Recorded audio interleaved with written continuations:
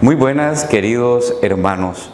Hoy en el Evangelio de San Mateo escuchamos aquel conocido pasaje de la multiplicación de los panes y los peces. Quisiera retomar los gestos eucarísticos de Jesús, aquellos que se repetirán en la última cena. Tomó los panes y los pescados, miró al cielo, pronunció la bendición, los partió y los repartió. Jesús hace algo inaudito ante su gente.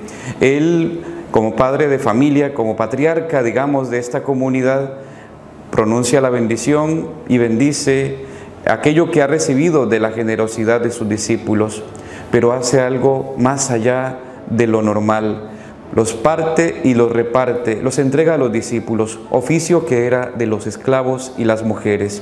En Jesús aprendemos a despojarnos de nosotros mismos, de nuestro yo, y convertirnos así en servidores de los demás. La solidaridad de Jesús con el hambre de la gente nos invita también a transformar nuestra vida como Él lo hizo.